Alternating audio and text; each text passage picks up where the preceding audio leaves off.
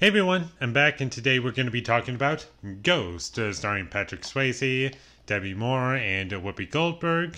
I'm so sorry to say this, but I didn't like this movie. I know this movie is like considered like a classic. I just couldn't get into it. I'm sorry. It, it was just very boring to me, and probably because I just don't care about any of the characters, and that might be my biggest problem with the movie. It's just that I don't care about anything that's happening. There are a couple scenes where I found it entertaining, but that's not enough for me to like the movie. I didn't think any of the performances were bad. It's just their characters I just don't care for. I'm going to talk about Patrick Swayze uh, for a minute. I think he's the best part of the movie. I uh, felt as though he, he was uh, pretty funny when it was like him just being when he's uh, annoying uh, Whoopi Goldberg at, at like 40 minutes into the movie when he meets uh, Whoopi Goldberg and uh, he's just kind of annoying her and uh, he's doing this uh, just so he can get her attention and he starts singing and it's pretty funny. I'm to talk about the pacing really quickly. It was fast and slow in all the wrong ways.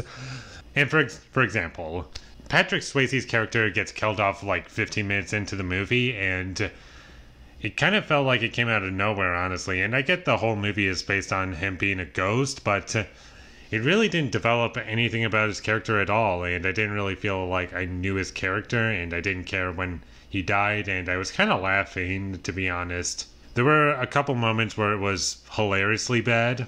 There's some dated effects in the movie, but I, I can overlook that because it's an older movie.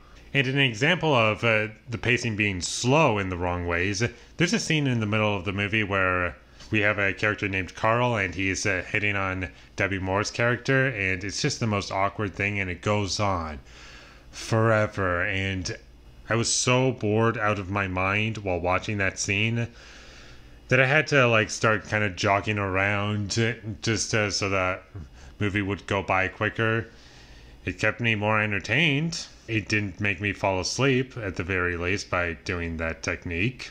I guess I'll talk about uh, some of the humor in this movie. There's a scene uh, involving Whoopi Goldberg and Patrick Swayze going to a bank, and th- there's supposed to be a lot of comedy, like awkward humor.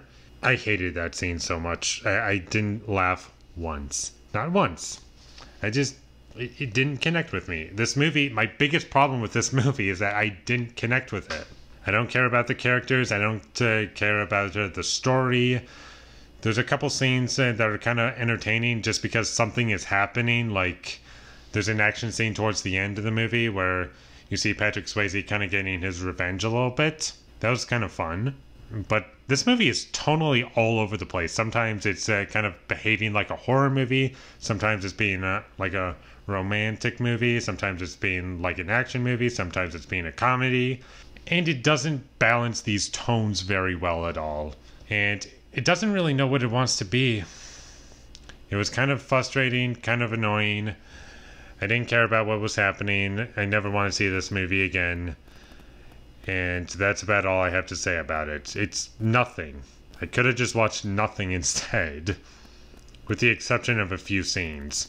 And with all that being said, I'm going to give Ghost a 4 out of 10. Thank you for watching my videos as always. If you enjoyed this review, be sure to leave a like and comment down below what you thought of Ghost down below. And my social media links, they will all be in the description down below, so follow me there. And last but not least, subscribe to be a part of Foley Nation, and I'll see you when I get my next review up. And if that... I'm going to stop talking about old. I talked about that in my last video. If I didn't review old as this video, it was going to be Ghost. However, I'm gonna I'll let you know on my social media if I'm going to be reviewing old or I won't be. So I'll let you know there. But if I don't review it, then it's going to be Argo. I, I've never seen this movie before, so at least I'll be watching something new. I've seen Ghost once and I just didn't remember anything about it. Anyways, I'm rambling. But until I get that up, thank you for watching and have a great day.